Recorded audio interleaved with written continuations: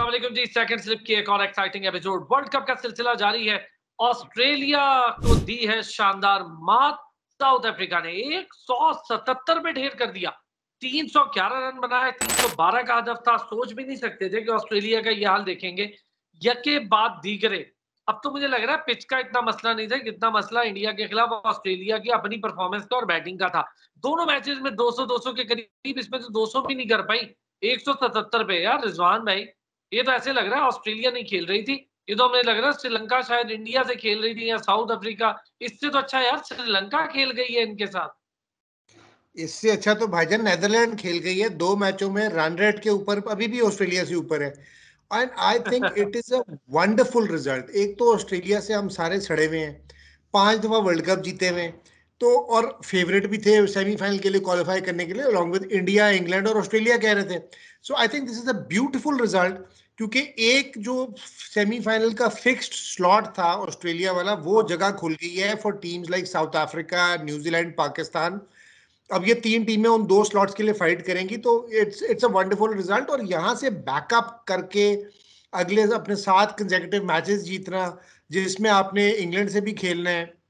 और दो मैच हार के बंदा वैसे ही बहुत अंडर प्रेशर आ जाता है। So I think this is a wonderful result Pakistan खेलना है। अभी न्यूजीलैंड से खेलना है इंग्लैंड से खेलना है पाकिस्तान से खेलना है। पाकिस्तान को अब उस तरह नहीं लेना पड़ेगा सर इस तरह नहीं लेना पड़ेगा। अच्छा मैं एक बात कहने जा रहा हूँ। यार रिजवान सबसे ज़्यादा आईपीएल खेलते हैं ऑस्ट्रेलिया के प्लेयर्स बैठे रहते हैं इंडिया में। फिर इंडिया के साथ टेस्ट सीरीज़ भी खेलते हैं बहुत ज़्यादा। वनडेज भी खेलते हैं टी ट्वेंटी भी खेलते हैं। इंडियन कंडीशन से भी वाकिफ है। उनसे बेहतर तो हम प्ले कर रहे हैं यार। हम लोग सालों बाद जा रहे हैं। दस बारह साल के गैप के बाद इंडिया हम तो बहुत बेहतर प्ले कर रहे हैं भाई। नहीं हम तो खैर अच्छा खेल ही रहे हैं। हमने बड़ा आला चेस किया। दोनों मैच अच्छे जीते। लेकिन कंडीशंस हमारी इंडिया की तो सिमिलर हैं, इसलिए मैं उसको इतना डिफरेंट नहीं समझता। मैं तो इस बात की खुशी ही नहीं खत्म हो रही कि यार ऑस्ट्रेलिया हार गई। शुक्र है ऐसी तहसीन की यार। नहीं, बेड़ा गर्क किया। मैं क्रिकेट का बेड़ा गर्क करने वाले ये इतनी अच्छी और डेडिकेटेड और इतने फाइटर लोग हैं। मतलब one should appreciate their qualities as well लेकिन ये देखें इस तरह के अपसेट होना भी गेम की खूबसूरती है कि मज़ा आता है कि यार एकदम रास्ता खुल गया। Probably not for the Australians. yes, but I don't say it uh, upset because मेरा ख्याल है साउथ अफ्रीका जिस तरह आई है और जिस तरह से साउथ अफ्रीका इनसे हार कर आई है उन्होंने अपना बदला लिया है। आपको पता है अभी बायोलेट्रल सीरीज़ थी साउथ अफ्रीका हारी उन्होंने बदला लिया है फुल फ्लैग और इतना खूबसूरत sorry sorry Arsalan. Bilateral series पहले दो मैच ऑस्ट्रेलिया जीती उसके बाद तीनों मैच और साउथ अफ्रीका जीती सीरीज़ जीती उनसे। उसके बाद इंडिया वाली सीरीज़ में इंडिया के साथ बायोलैटरल सीरीज़ भी ये हारे। ये टीम अच्छी फॉर्म में नहीं थी। हम तो ये एक्सपेक्ट कर रहे थे कि शायद ये अभी ज़्यादा फाइट कर ले क्योंकि पहले दो मैच जो साउथ अफ्रीका के खिलाफ खेले उसके बाद साउथ अफ्रीका ने इनके खिलाफ 400 भी बनाया। इंडिया के खिलाफ भी हाँ। इनको रन पड़े। इन्होंने एक और जो हरकत की जो हम शुरू से डिस्कस करेंगे, यार देर स्पिन बॉलर शॉट आज मैक्सवेल ने अच्छी बॉलिंग कराई। अगर एगर भी होता, यहाँ पे एस्टन एगर होता, तीन बॉलर होते तो शायद ये 270 पचहत्तर पे रिस्ट्रिक्ट कर लेते, क्योंकि जैम्पल लेग स्पिनर है, कभी भी पिट सकता है। देखिए ना, उधर देखें, उन्होंने बिठा लिया, कैसा पट्टा बिठाया उन्होंने इनका। मुझे आज लग रहा था कि शायद साढ़े तीन सौ रन होने चाहिए थे, कम स्कोर है। लखनऊ की पिच अच्छी निकली है जी, बिल्कुल उन्होंने थोड़ा ट्रू बाउंस वाली पिच थी ट्रू बाउंस था लखनऊ की पिच पे, और बॉलर की बॉल भी उठ के आ रही थी। तो मामला ये कि लखनऊ की पिच नहीं बनी थी, हमें पता था कि आईपीएल हुआ है, उसके बाद 2019 में जाके कोई एक मैच हुआ था, उसके बाद अब हो रहा है।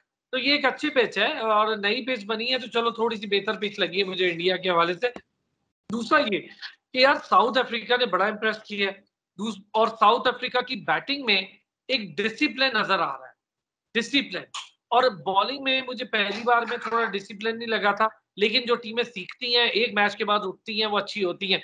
आज उन्होंने कज्जी को बिठाया शमसी को ले आए। बहुत अच्छा फैसला। बिल्कुल विकेट के हिसाब से एक एक्स्ट्रा स्पिनर खिलाना बहुत ज़बरदस्त बात थी। और you know all press to South Africa के कंडीशंस के हिसाब से अपनी फ़ील्ड प्लेयर टीम की सिलेक्शन कर रहे हैं।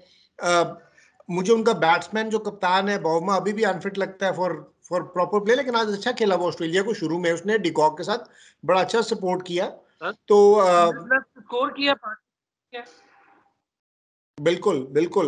नहीं नहीं ये बड़ा अच्छा कॉम्बिनेशन है और जिस तरीके से उन्होंने वर्ल्ड कप का स्टार्ट लिया ना कि पहला वाला मैच भी अपना 400 कुछ स्कोर किया तो उसके बाद अगर आप देखें तो नेट रन रेट पे एक तो पाकिस्तान इंडिया न्यूजीलैंड और इंग्लैंड चार टीमें इंग्लैंड ही साउथ अफ्रीका, चार टीमें हैं जिनके चार चार पॉइंट आफ्टर टू मैचेस और उसमें साउथ अफ्रीका का run rate is the one which is giving them the advantage कि वो एक दो मैच हार भी गए तो रन रेट इतना अच्छा कर लिए two point two point three plus का कि वो एक आध मैच में अगर को दस, पंद्रह, तीस रन से हारते भी है तो उनके रन रेट इफ़ेक्ट नहीं होगा which will which will benefit them in the very end एक और इम्पोर्टेंट जो आज के मैच में मुझे लगी, कमजोरियाँ होती हैं हर टीम के पास लेकिन काफ़ी खुले ऑप्शन में कमज़ोर के पास, अब आप देखें मैचेस में, वो चेंजिंग कर रहे हैं। मतलब इस हद तक मेरा ख्याल है प्लान नहीं थे। मेजर मैच था आज, उसमें फिर फिर पुराने मैच से प्लेस चेंज करके इसमें ले आए स्टोइनिस को ले आए। अच्छा उसको ग्रीन को, आपने कैमरन ग्रीन को ड्रॉप किया और सॉरी उसको भी ड्रॉप कर दिया कैरी को इंग्लिश आ गया। अब ये देखें ना आप, यहाँ पर इससे साबित होता है कि टीम आपकी अभी तक सेटल नहीं हुई और आप अभी तक खलबली में। अगर दो मैच और निकल जाते हैं रिजवान, ऑस्ट्रेलिया के, एक लाजमी तौर पे इंग्लैंड वाला और एक हमारे वाला या न्यूजीलैंड वाला, इन दो में से कोई एक निकल जाते हैं। फिर क्या सूरत होगी? तो क्वालिफिकेशन इनकी अभी से नज़र आ रही है ना देखिए जब आप डाउन होते हैं ना तो फिर नेदरलैंड टाइप टीम को भी कॉन्फिडेंस आया था कि साढ़े तो थले गए ने। So that makes a big difference आप जिस तरह ये टीम में चेंजेस कर रहे हैं ना पैनिक बटन दबा हुआ है ऑस्ट्रेलिया में।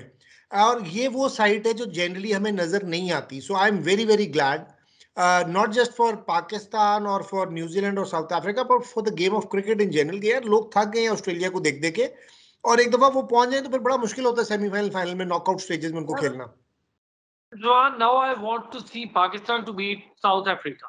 This would be a great thing. This would be an upset. Not upset, yeah. Pakistan is a good team. I think this would be a great thing क्योंकि पाकिस्तान इस वक्त फॉर्म में है पाकिस्तान ठीक है बॉलिंग नहीं पाकिस्तान का इशू बना हुआ है लेकिन पाकिस्तान स्ट्रगल उस तरह नहीं कर रहा जैसे ऑस्ट्रेलिया करे करे। यार देखिए सारे मैच नहीं जीत सकते हमें भी पता है। सारे मैच ठीक है लेकिन इस वक्त जो आपको मैच टारगेट करना है ना वो ऑस्ट्रेलिया वाला करना है। इस वक्त सारी टीमें ऑस्ट्रेलिया पे फोकस कर रही हैं कि यार एक टीम जब कॉन्फिडेंस में नीचे हो ना तो उसको उड़ाना ज़्यादा आसान होता है। हाँ फाड़ लो। तो वो ऑस्ट्रेलिया के लिए मुश्किल होती जाएगी। न्यूजीलैंड जितनी फॉर्म में है साउथ अफ्रीका जितनी फॉर्म है और पाकिस्तान भी दोनों मैच अपने जीते और बड़े अच्छे तरीके से जीता सेकंड वाला। सो so, ये तीनों आपस के मैच है। देखिए हर टीम ने हमने उस दिन डिस्कस किया था कि कुछ टीमें आपने टारगेट की होती यार ये वाला मैच ऐसी हार भी जाइए ना तो हम सेमीफाइनल में चले जाएँगे। जिस तरह इंडिया ऑस्ट्रेलिया वाला मैच था वो दोनों एक्सपेक्ट करेंगे कि अगर हार गए तो नॉट एन इशू इस पर घबराना नहीं। लेकिन ये ऑस्ट्रेलिया के लिए ये वाला मैच वो था जिसको हारना उनके लिए मतलब उन्होंने कंसिडर नहीं किया था इसको हारना।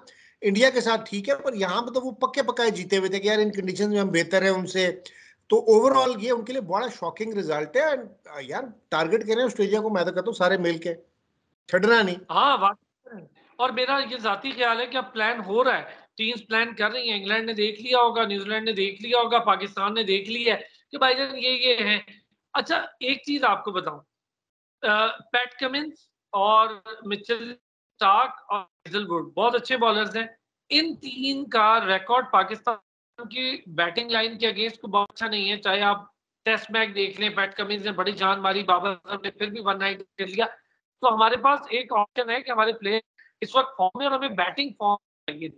मैं सिर्फ़ पाकिस्तान से इसलिए कर रहा हूँ। दूसरा इंग्लैंड एक मैच हारा, उसके बाद आया, जीता, ठीक है। लेकिन भी, अब ये चीज़ देखेगा कि भाई ऑस्ट्रेलिया के मैच से पहले बेन स्टोक को फिट करो, लेकर आओ, इनको तो फारिग करो ना।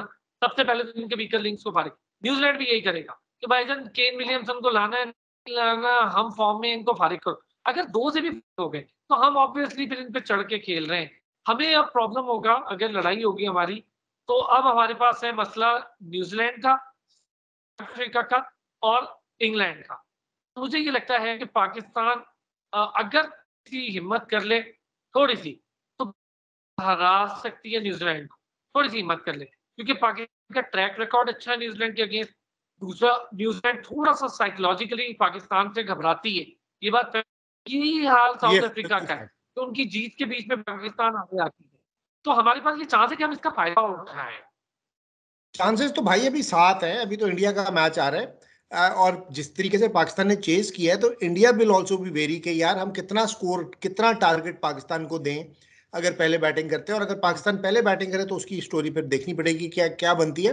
But you know cricket is a game of chance anything can happen दस बॉलें होती हैं, आपको दस विकटें चाहिए।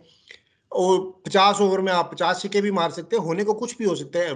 Records are made to be break broken Pakistan ने हाईएस्ट चेज किया है। कॉन्फिडेंस पाकिस्तान का भी हाई है। अगला मैच इंडिया से। इंडिया भी अपने दोनों मैच बहुत तगड़े जीत के आ रहे हैं। सो कॉन्फिडेंस उनका भी आई है बड़ा इंटरेस्टिंग मैच होगा।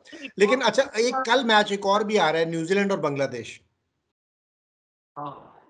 बहुत बड़ा मैच है। अथर अली खान ने तो हरा दिया है। अभी से न्यूजीलैंड को। नहीं नहीं वो मैच में भी टेक्निकली आप देखें तो न्यूजीलैंड की टीम वन शॉट करते हैं, बस, ठीक है एंड हो रहा है। बहरहाल जी full credit to South Africa मैं ये मैच देखना चाहता था कि साउथ अफ्रीका जीते और वो हुआ, क्योंकि साउथ अफ्रीका एक्सीलेंट खेल रही है। चले जी, आप लाइक करें सब्सक्राइब करें कमेंट करें। कल रात फिर आपसे होती है मुलाकात। Bye bye